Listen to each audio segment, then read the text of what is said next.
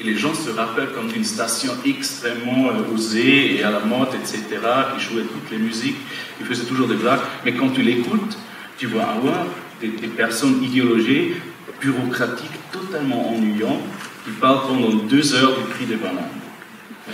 Alors, c'est comme ça qu'on se rappelle, c'est la mémoire d'un côté, et l'autre côté, tu as la vérité. Comme un metteur en scène, quand tu parles sur l'histoire, le sens de l'histoire, tu fais toujours, tu balances les choses, tu décides. Et pour ça, euh, ça sera un autre point, on a besoin, en fait, de ce que j'appelle euh, euh, collective authorship, en fait, L'écriture Enfin, collective. L'écriture collective, tu as besoin des experts, tu as besoin des personnes qui ont vécu ça pour te donner la légitimité, évidemment, de, de, de fausser l'histoire, pour trouver une autre vérité historique.